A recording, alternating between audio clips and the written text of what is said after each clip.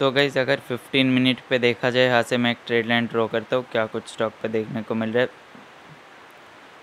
तो यहाँ से देख सकते हो स्टॉक अच्छा खासा ऊपर गया, फिर डाउन फिर ऊपर, फिर यहाँ से डाउन जाके ब्रेक डाउन किया।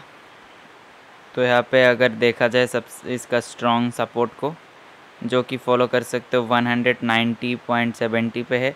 इस पहला सपोर्ट का अगर ब्रेक डाउन आता है अब पहला सपोर्ट का ब्रेक डाउन आता है, आप लोग इसका अगला सपोर्ट फॉलो कर सकते हो, जो कि 188.85 पे रेजिस्टेंस को देखा जाए तो इसका 197.55 पे इसका स्ट्रॉन्ग रेजिस्टेंस है। तो स्टॉक का यहाँ से अभी और भी गिरता हुआ देखने को मिल सकता है, अपना जो सपोर्ट जोन है ये वाला।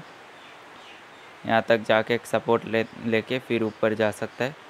तो अभी नेक्स्ट जो ट्रेडिंग सेशन है मंडे के दिन तो मंडे के दिन स्टॉक यहाँ से डाउन जाने का चांस ज़्यादा है। बाकी आप लोग गई सारे जो लेवल्स देख रहे हो फॉलो कर सकते हो। मुझसे कांटेक्ट करके अगर आप लोग स्टॉक से रिगार्डिंग कुछ भी जानना चाहते हो, कुछ भी पूछना है तो गई इस चैनल का अबाउट पे मेरा कांटेक्ट मिल जाएगा। वहाँ से आप लोग चाहो तो मुझसे इजीली कांटेक्ट कर सकते हो। मिलता हूँ नेक्स्ट वीडियो में। बाय बाय आप सभी